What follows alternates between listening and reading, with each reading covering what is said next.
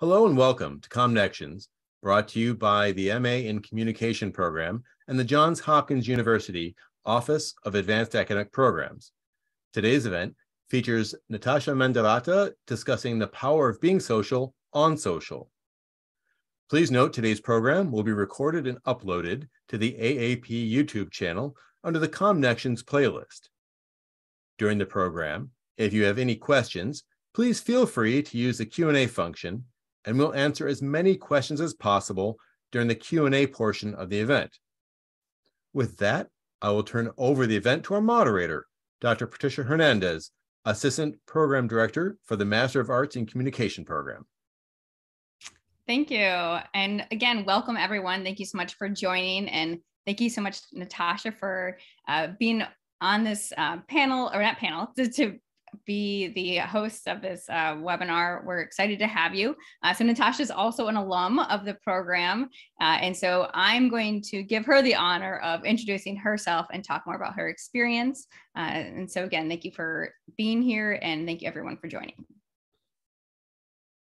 Thank you so much, Patricia. I'm just going to go ahead and, and share my screen here.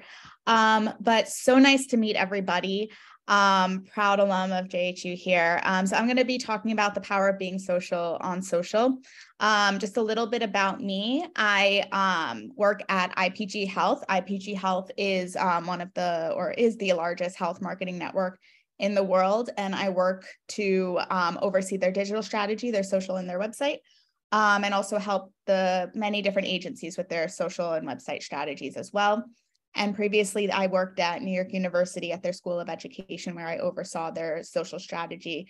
And the reason I'm going through that is not just to go through my past history, but in this presentation, we'll be going through um, some examples of the work that I've done in both of those and how those social principles, um, you know, the power of being social have been weaved into all of them to lead to success. So first, I say this all the time, but social media by definition is social. So when we're talking about, you know, how success, how to be successful on social media, a lot of us often think, and I know when I started in the job as well, like what is the content that we're going to post to talk about our benefits, our products, and more. Um, but that doesn't, you know, that doesn't relate to the uh, why those platforms were built to be social. So let's say, you know, when I worked at NYU before, people thought that if we post about our program, people are going to come flooding because, you know, it's just that amazing. But it didn't take into account why these platforms were designed to create connections, to create community. Um, so before we go around posting content, you know, shouting it to the universe, universe like we're using a bullhorn, like pay attention to me. We need to talk about like the nature of social media, how it's designed, how people use it and behave, how they use it to, and how that's used to shape social strategy, foster brand loyalty, and encourage action with a brand. So I'll be going through um, multiple like social principles that relate to, uh, to social media, but also being social and creating connections. And I'll show a ton of examples and takeaways from there. Um, so the first principle here is prioritize relevancy. So we're often bombarded with content on a daily basis and our minds are weren't meant to process this much stimuli coming in. So we only pay attention to something that captures our attention and is meaningful to us. Um, so everything else we just scroll past. And also throughout this presentation i encourage you to think about your own social behavior as well. Um, like as i'm talking like what do you do when you're on social media instagram tiktok whatever. Um, so, and also throughout this presentation, sorry to backtrack a little bit, the examples I'm sharing are not for one particular platform because this isn't a presentation where I'm going to say like BeReal is the next big thing. Um, these are principles that apply across all different platforms. So you'll see examples from across all different platforms as well, because as we're seeing with TikTok in real time, platforms come and go, but you know, our psychology, the reason we do what we do, that doesn't change. So going back to relevancy, um, imagine you're at a party, you're sitting on a couch, the person to the left of you is having a conversation about something you're really interested in. For me, that's coffee. The person to my right or the person on the other side is talking about football. I'm not necessarily interested in football. It's not relevant to me. I'm tuning into the conversation about coffee. And even though those people are like the same distance apart, I'm only hearing the person on the left. So we only tune into things that are relevant to us. So, for something to be relevant, we need to understand why a person acts the way they do, um, what's important to them and what's not, and to design content accordingly, both the topic and how it's actually designed. Um, the algorithm sees that a certain brand is relevant to them and they keep showing up, showing that content more and more to a person's feed. If you, you know, like, I don't know, Ford's cars, like photos, all of a sudden you see more things about Ford cars. That's because, you know, Instagram or TikTok or LinkedIn has deemed Ford cars like relevant to you. Also bonus fact and we're not going to get into this but um, when we see something sorry when we see something that captures our attention and that's meaningful to us we actually get a hit of dopamine. So that's why we're often like keep scrolling because we want that hit. So going into some examples um, this was from my time at new york university i had worked at the school of education and we had often created um, these instagram takeovers where we had students that we trusted um, take over our account and ask, uh, answer prospective students or current students questions because it created that connection. And we often saw those were like our best performing content for that reason. It created connections. Um, so someone had asked, what are the dorm rooms like? And so they shot this video of what a dorm room looked like. And a lot of people reacted to it. So we were like, okay, let's download that and turn it into a TikTok. The video that you see here reached about 52,000 people. And our average at that time was maybe about like 700 people. So it clearly outperformed everything else because it was relevant to the people who wanted to see it. When we were often posting about, you know, joining NYU, we were talking about, you know, meet your advisors, the things that we thought that we wanted, that we thought they wanted to see. But this experiment showed us that wasn't necessarily the case. So the behind the scenes view of what it's like to be a freshman, the life of being a freshman, that is the thing that um, performed best.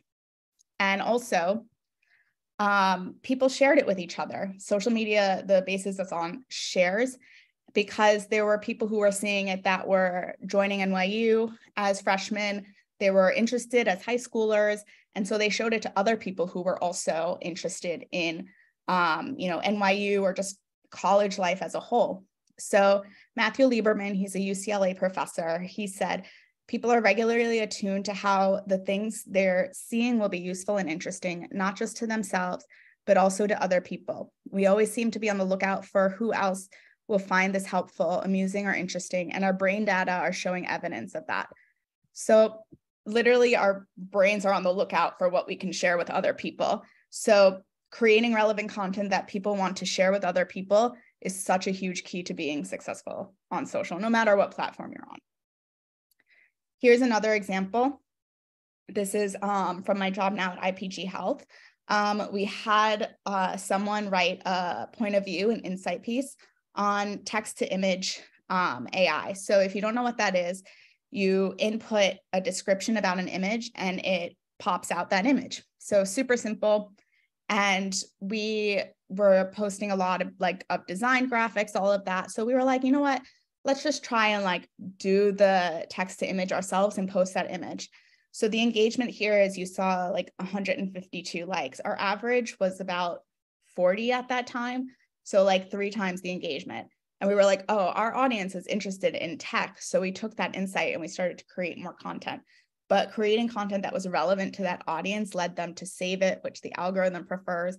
And it led them to stop scrolling as well, because as I mentioned before, we keep scrolling to find what's relevant to us. So the thing needs to pop out at us and be like, hey, this is going to be of interest to you for people to stop.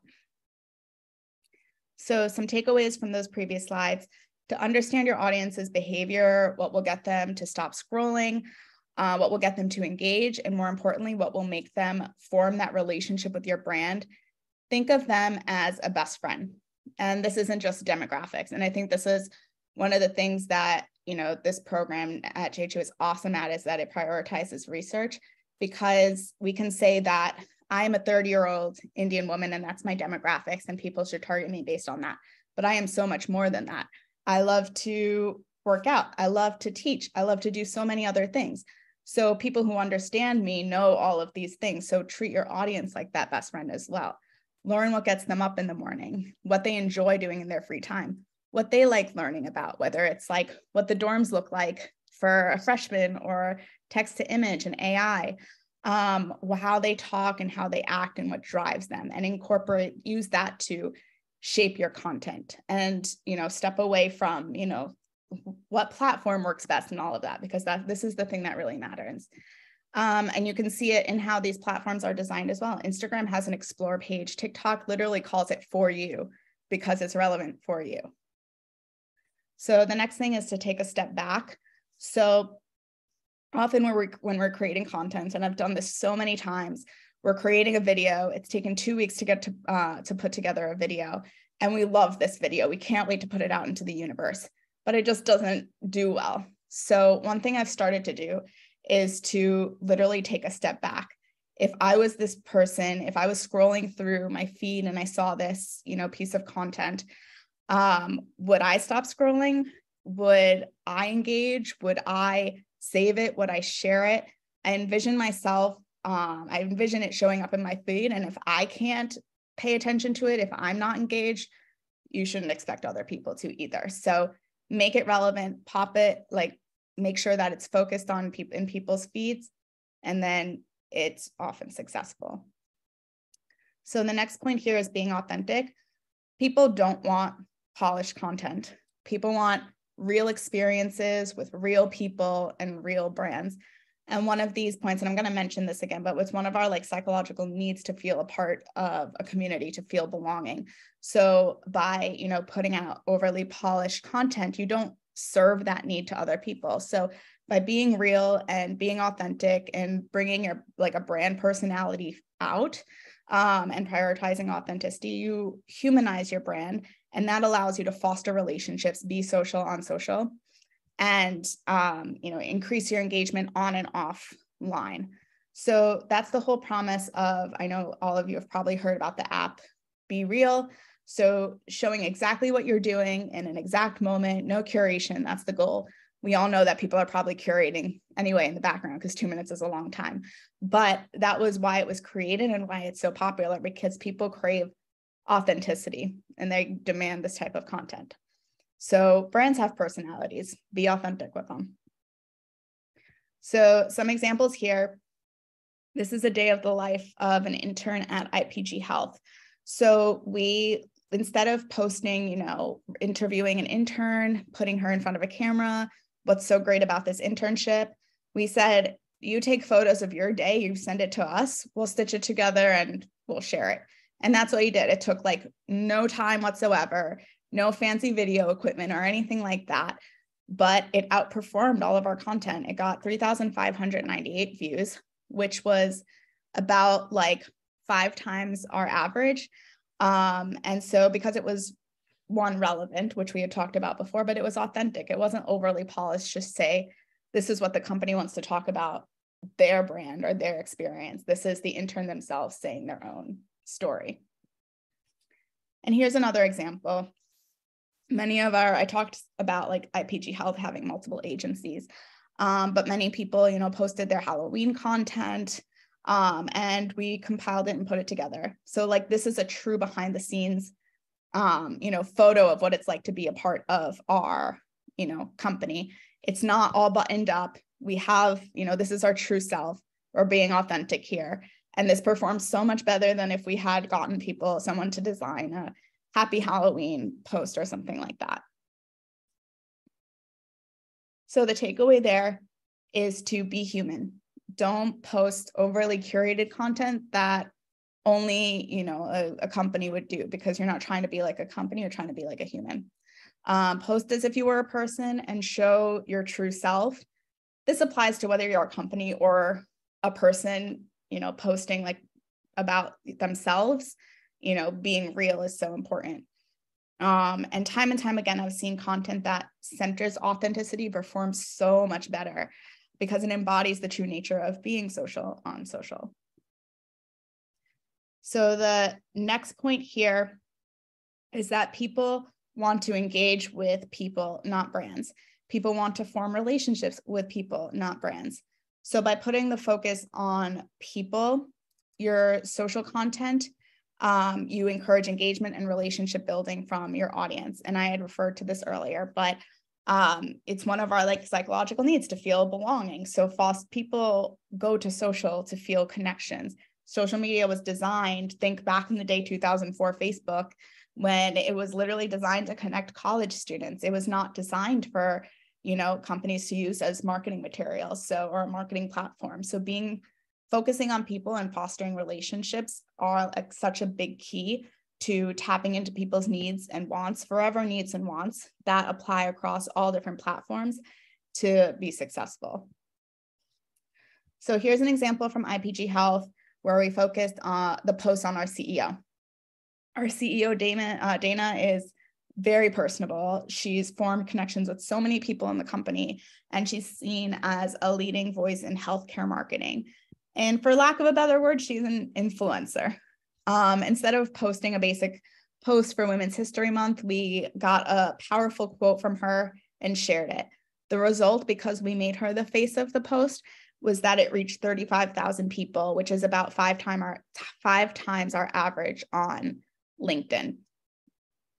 And then here's another example as well. We center, you know, there's a lot of marketing awards out there, Cannes Lions, London International Awards. We center our people for our award ceremonies. So rather than just pre- um, publishing like press releases or awards that they've won, um, we give the camera to our leaders and the people behind the scenes. So in this center photo, you see uh, Eliza, our amazing creative awards manager, and she is posting an inside look into the London International Awards. She went around and she interviewed the jurors about the trends that they're seeing. And it got a lot of engagement because people looked up to these people. And so they wanted to in- engage with the people, not necessarily IPG Health. And then on either end of that, you see people, um, some of our leaders at award shows, and they're being themselves, like, and people engage because they feel connections with those people and they're fostering connections with those people. So the next time someone sees, you know, one of those featured on, um, you know, the left, let's say, um, her name is Jen Ma. If someone sees Jen Ma and you know they see a content content from her focusing on her later down the line they've already formed a connection with her here. And then you know these this content is also shared on like our newsletter and website as well to form connections like uh, or put or humanize our brand across you know many of our different touch points as well. Here is an nyu post um, this is a student who ha- was accepted into NYU Steinhardt, the School of Education. And you see their true authentic reaction and it is so powerful and so touching.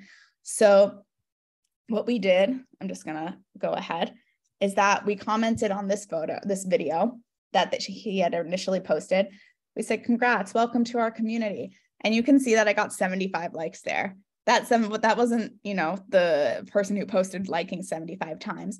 That was a bunch of people who saw that we commented and was like oh this brand is actually like congratulating this person. Like this is some like a brand that's personable but also like hey congrats you're being recognized by this you know institution.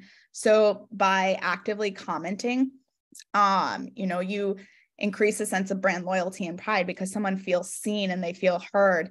They feel seen from the institution that just accepted them.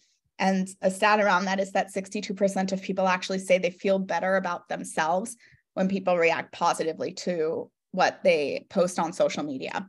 So engagements make us feel good. So, you know, that's the psychology around it. We want to feel seen and we want to feel heard. So instead of just like liking a post, we commented and then we also said, we love your video. Can we share it on our social channels as well? So we use this to create, you know, user generated content. It took us no effort. We copied the, of course, with the students' permission, we copied the caption, we shared the video, and it got a ton of engagement. And people were like, oh, I'm so, so nice to meet you. Like, I can't wait to, you know, go to school with you. Like, well, what class are you doing? Um, so we connected, uh, created a connection not just with, you know, the audience member, but also with encouraged connections between this new student with other new students or current students as well. So you're forming an even greater sense of community. So jump ahead a little bit. This is similar. We can see that this is another person who got into NYU and the simple act of being social, like, yes, congrats, welcome to the community um, you know, encouraged, you know, action. And this person who also we commented on their post, now they feel a sense of like loyalty to us. We've seen them. And so they'll follow us. They actually engage with us more. And our content shows up on their feeds more because we are seen as now relevant getting back to that um, previous comment as well um, and other people commented using you know that social to form that community so you can see in the last comment congrats my daughter just got off the wait list hey, you can connect with someone, you can connect with the daughter. Like we're all going to be in the same school together. So, like from the beginning of time, we thrived to be in packs and part of communities. And that's the same here. This is no different. We're just using social media to do it. And then one more focusing on active engagement, which I've already mentioned, but comments uh, go so much more, go such a long way as compared to simply liking something because you're actually taking the time out to comment and congratulate someone. And then you can see not just being you know engaging with people who are posting about you but reaching out for to engage with people as well. Someone posted here literally my dream school hey let us know if you need any help to start applying. And they reached out to us. I don't think they would have anyway but like we were personable so they felt like they could come to us and then over here this isn't necessarily a person uh, but i didn't necessarily want to create a new section with this um, but as you know, we're parts of communities, we want to shape our perception in said communities. It goes back to the clothes that we wear, the music that we listen to, because we all want to be seen a certain way. So online, we have the time to construct and redefine um, our image. And that's what like scientists actually call self-presentation. And so what we do on social is that we share things that shape our self perception.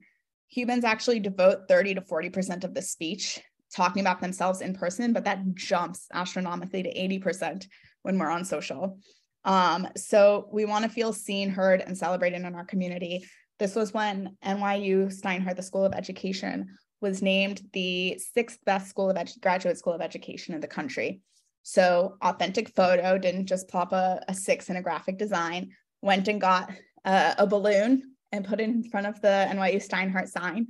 And because it like looked real, it got more engagement, but also people shared this on their Instagram stories, their LinkedIn profiles, their Twitter feeds, because there were also saying, hey, not only did the school get number six, I got number six. You know, they identify it with it. And, you know, I'm guilty of this too. I don't necessarily post about my alma maters, but the second they like, you know, reach, get a certain ranking, I'm like, I, for NYU, because I was an alum there too, like, I bleed violet. That's their saying.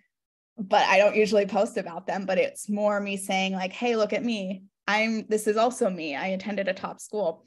So keep that in mind when you're shaping content as well that like whatever you to encourage shares people share based on creating a self um, presentation on or a self their own self identity on social. So some points here build and serve your community.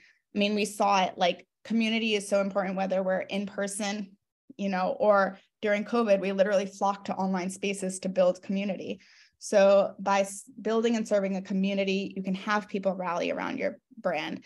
Um, some of the like best companies and people have mastered it. They found niches. They give their people a voice, they engage with their people, they make them feel seen and heard, and in turn, they engage with the brand. They want to, people want to be a part of something bigger and they want to, and the need to feel seen is innate. Um, and then a stat here is that 80% of people, and this comes from a, a New York Times study um, on online sharing, and they found that 80% of people share and engage because they on social because they want to grow and nourish relationships. So when you're posting content on social or engaging on social, keeping that top of mind is important. Like, does this grow and nourish a relationship? And the second is to prioritize engagement. So I said it before, I'll say it again, like social media by social, it, by definition is social. It isn't a bullhorn.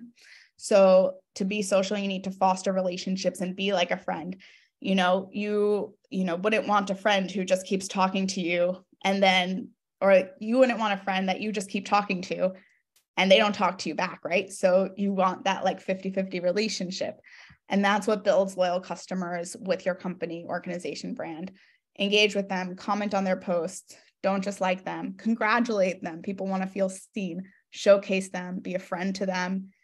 The algorithms also prefer it. They prefer engagement because then it shows again to the platforms that this is a company or this is a brand that's relevant to said, you know, audience member and they show up more.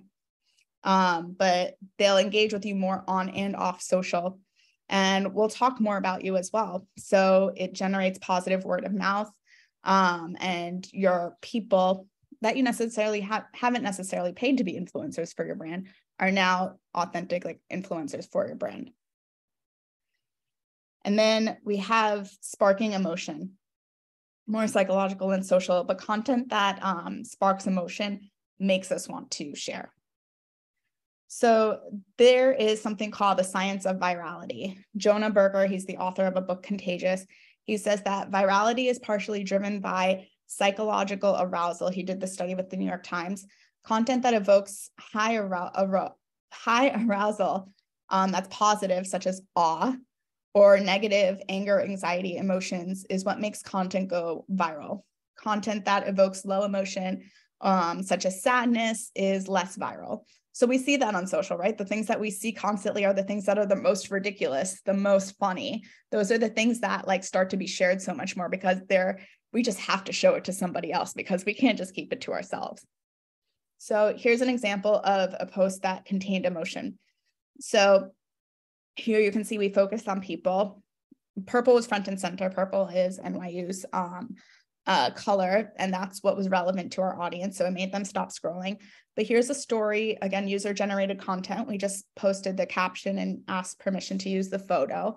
Um, a student who um, her grandparents dropped out of high school, didn't go to school when they were 12 and 14. She herself, um, you know, was kicked out of community college for a GPA of 1.071 and here she is getting her second master's. And it's a whole paragraph. But the thing is, it got so much engagement like 1,115 likes, but there's so many shares, comments, and all in addition to that. So you see these like 31 comments over here where people saying like, I can't wait to meet you. Congratulations, you know, welcome to the community.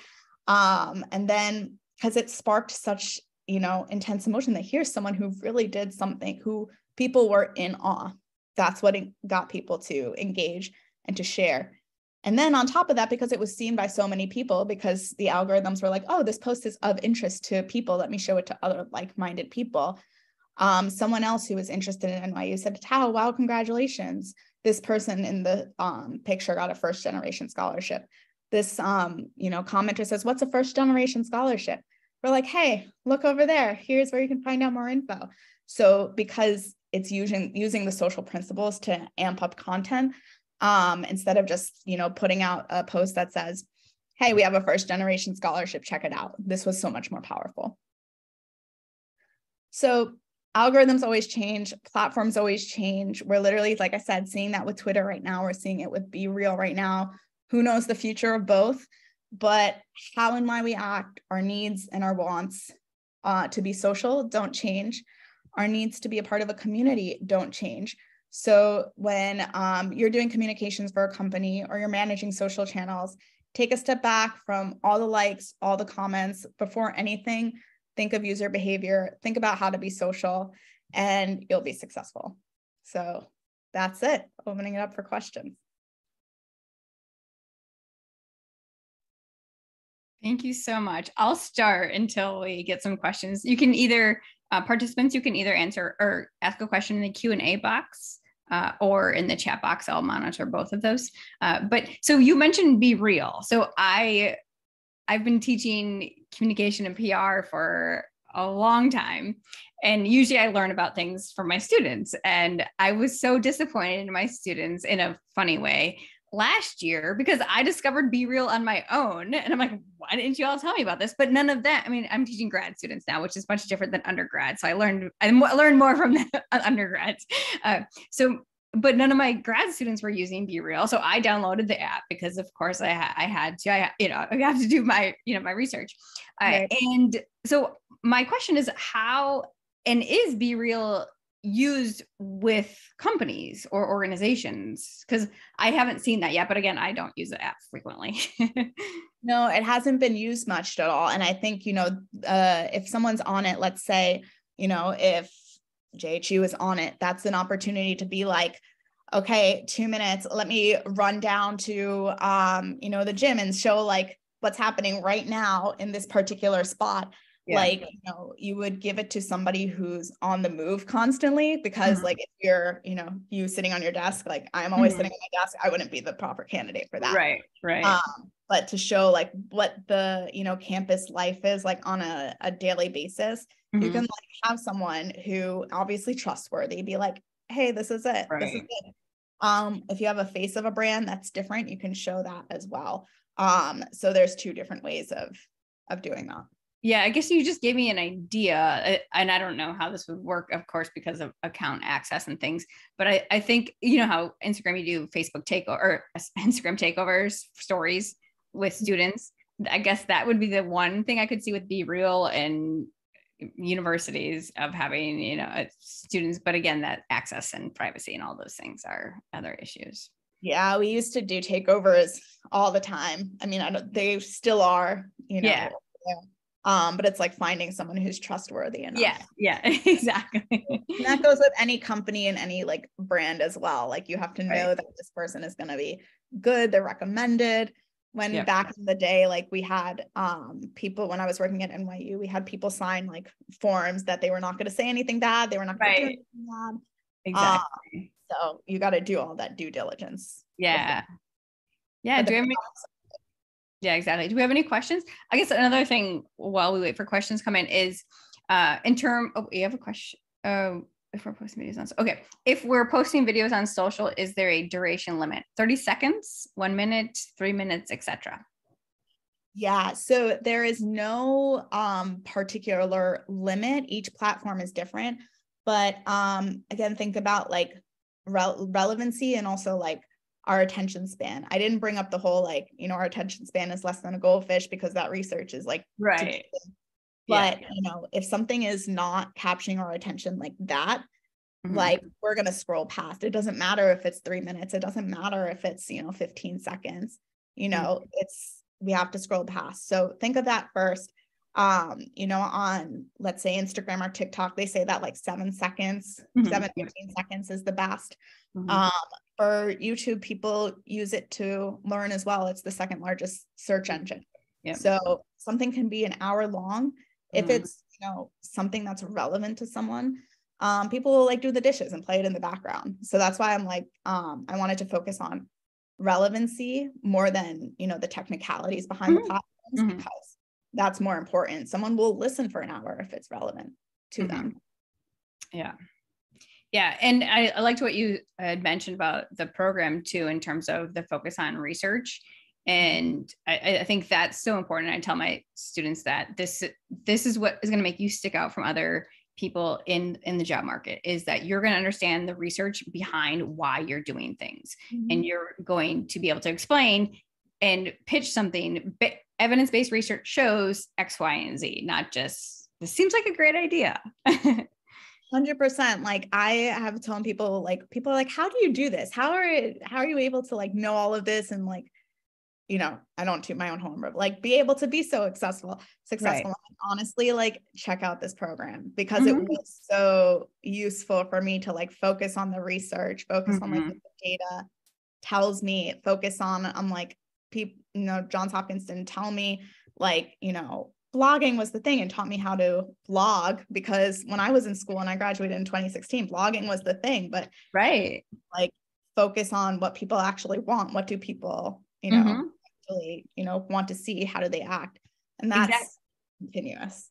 Yeah, and like you said, like it's you you weren't focusing on what platform to use today because that's it's going to be ever changing, and so it's again thinking about behavior change, what makes people tick, what makes people pay attention, what makes people act, behavior change. So yeah, that's great. So do we have any other questions here?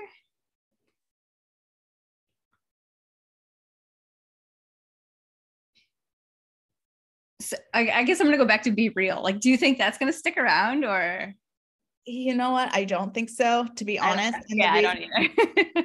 The reason is um because TikTok has adopted it and they had call it TikTok now, I think or something Yeah. like that. And then Yeah. Instagram is adopting it as well.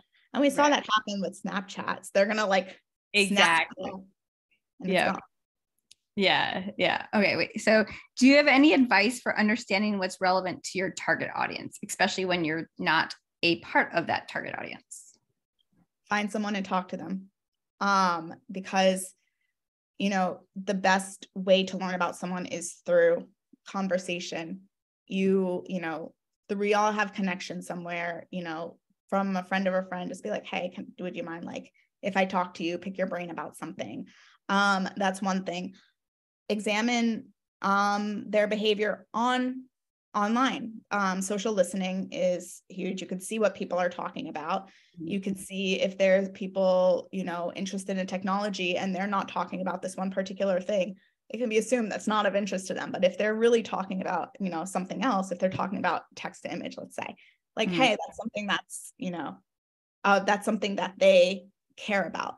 So you know social listening was huge. Um i've done that. I did that a lot at my last job at nyu like what do people care about? I actually had i am i was not a student but i had formed a focus group of students that I would consult throughout the year and be like, "Hey, with this, do, is this ad? Do you do you care about this?" And Right. people would often say no, and I'd be like, "Oh, after the drawing."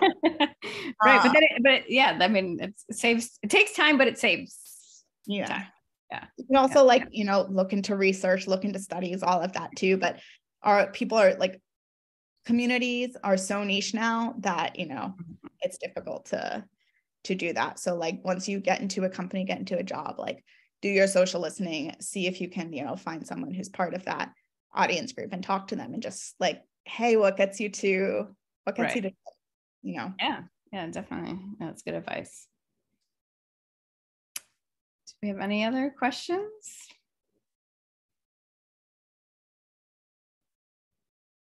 Give it another 30 seconds or so.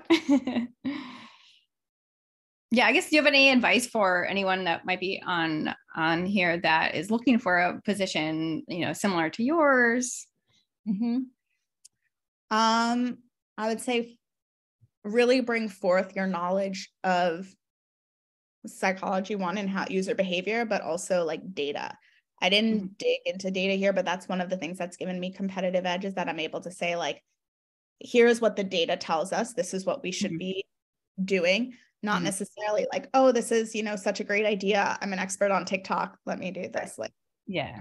on, you know, and give examples of how you were able to do that, you know, even examples from, you know, from your time here in the program. I remember I was um I think it was 2016. I had done um a whole communications plan for a nonprofit. Um that was one of the classes and you had to do that. Mhm. And I had used that to get my next job because they wanted to see my work. So I was like, Yeah, here, yeah, that's awesome. you know, thing, but it included there all of this like Mhm. data backed information from like how you know the audience would act a lot of that came from social listening as per like the Mhm. previous like question Mhm. so you know use that um focus on data focus on research and you can use what you've learned in this program here to get your job Yeah, Excellent. Mhm. Well, thank you so very much for your time and your expertise and all the great examples. I really appreciate it, and I'm sure everyone else on on here does, and whoever else listens for that's not on here. So, thank you again for your time and everyone for joining. thank you so much right, have a great rest of your evening. you too Bye.